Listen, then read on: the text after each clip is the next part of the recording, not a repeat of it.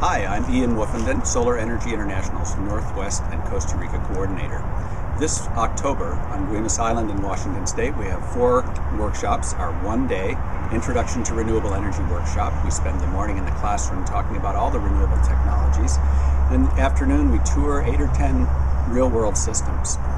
Our next workshop is our Solar Electricity Basics workshop which is a six-day Monday through Saturday workshop, and it is an installation workshop here in Guemes. We are installing a 14 kW PV system on a home.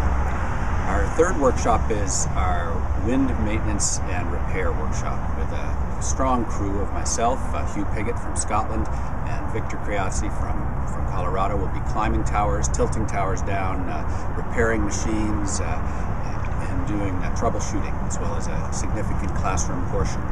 Our last workshop is our home-built wind generators workshop with Hugh Piggott and, and our stellar crew will be building machines from scratch, carving blades, winding copper coils, uh, building alternators, welding, grinding, and at the end of the week, uh, putting a few, a, a machine or two up to test. We'll be completing one machine and probably building two or three other machines as well. I hope you can join us on Guemes Island this October.